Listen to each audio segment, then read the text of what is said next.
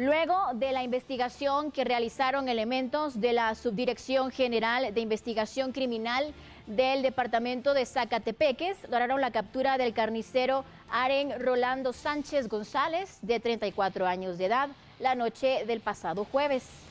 La aprehensión la realizaron luego de realizar un allanamiento en su casa de residencia en calle hacia la pila seca de la aldea San Lorenzo el Cubo de este municipio ya mencionado, ya que existía una orden de captura emanada por el juez de primera instancia penal Estuardo Rojas por el delito de homicidio. El detenido le dio muerte al joven Hansen Armando Jiménez de 24 años de edad, quien era su familiar, exactamente su concuño.